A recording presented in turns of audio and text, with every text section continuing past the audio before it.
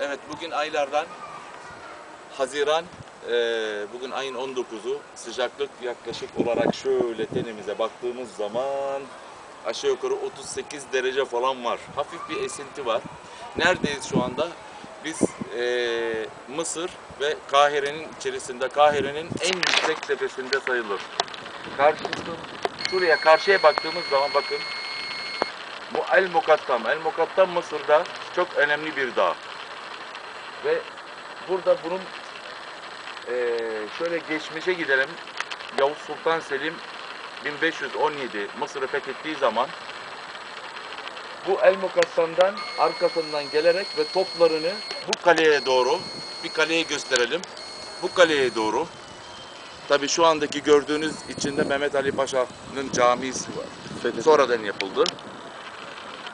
Ve gördüğünüz kale, gördüğünüz kaleyi Alaaddin Eyyubi'nin kalesiydi, Memlüklerin. Yavuz Sultan Selim bu gördüğünüz dağdan Fatih Sultan Mehmet nasıl İstanbul'u fethederken gemilerini yukarıdan aşırıp da denizden çıkartıp karadan yürütüp tekrar Halice indirdi. Burada da Yavuz Sultan Selim aynı şeyi yapıyor. Tarihte aslında pek bunu eee, es geçiliyor. Yavuz Sultan Selim bütün ağır toplarını bu dağın arkasından ineklerle böyle ve yukarıdan çekerek ve tepeye koydur- kondurdu. Tepeye kondurduktan sonra kaleyi yukarıdan Kuştepe dediğimiz yani Kuş Tepesi olarak yukarıdan vurmaya başladı. Hiç beklemiyordu Toğman Bay. Yani Memlüklerin başıydı. Yavuz Selim'in yukarıdan geleceğini ve kaleyi yerle bir ediyor. Yavuz Sultan Selim buradan aşağıya geliyor ve kaleyi geliyor, fethediyor. Yani Mısır'ı fethediyor. Sonra Toğman Bay şu gördüğümüz oradaki gördüğümüz e, bir e,